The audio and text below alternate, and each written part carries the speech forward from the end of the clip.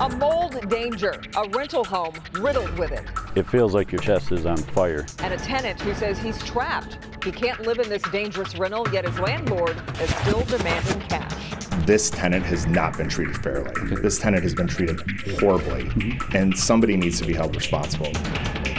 And tonight, Help Me Hank tracks down the owner of that rental home. And also works to get help for the tenant who is now suffering serious health problems because of this mold. A rental home nightmare and a property owner that was hard to track down until we got involved. Hi, Antoine? I've been looking for this guy and he knows it. Antoine? Antoine Dubiclard is the owner of this rental home in Clawson, and in a moment you'll see our exchange. Right now, meet Sean Freeman. According to the test results that I recently got, he said that this is highly toxic. Sean and his father are renting this home on Tacoma Street in Clawson, and earlier this year, both started feeling sick.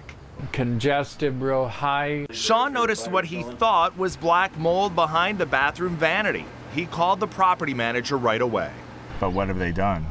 Excuses. Sean then hired a mold expert to test the rental, and the results were shocking.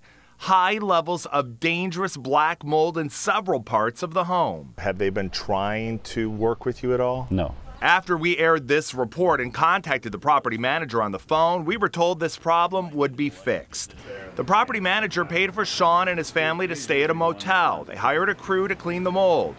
The problem? When Sean moved back in, his symptoms got worse. A new mold test by an independent expert revealed that the mold levels were now off the charts. It got so bad, the city moved in. Determining the home is a big danger.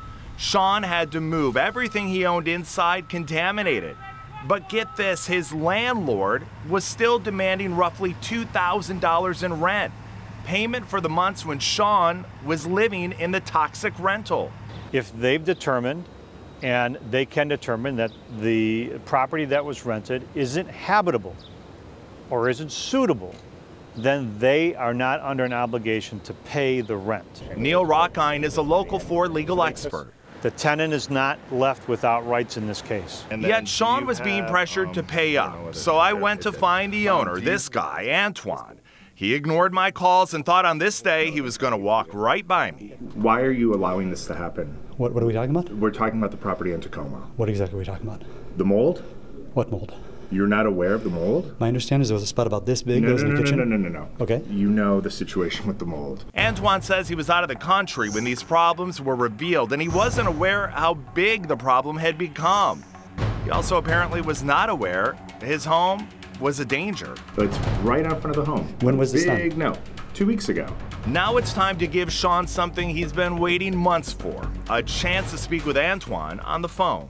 I'd like to talk to this tenant to understand what's going on. I have not seen this latest report you're talking about. Let's call him right now. You know what? Unfortunately, I've got a lunch meeting I got to get No, to. I think this is Fine. important. Okay, You're let's the do it. owner You're of right. this No, you're right. You're right. Let's take care of it. Our symptoms are getting worse. As of right now, though, he's being told by your property manager he has to pay the rent. So I wasn't aware of the of the city notice. So I'll, I'll look into that. You know, uh, that's one thing I wasn't aware of. Um, the second piece of it is obviously for the time that you're not able to live in the house for these reasons, you shouldn't be charged rent for that. That's obvious to me. Okay. This tenant has been treated horribly, and somebody needs to be held responsible. It's it's just not fair. And remember, if you're a tenant like Sean in a bad situation, you do have legal rights. I should tell you that Sean will not have to pay rent for the months that he was living in that dangerous home, and his security deposit will be returned. I'm Hank Winchester. Help me, Hank.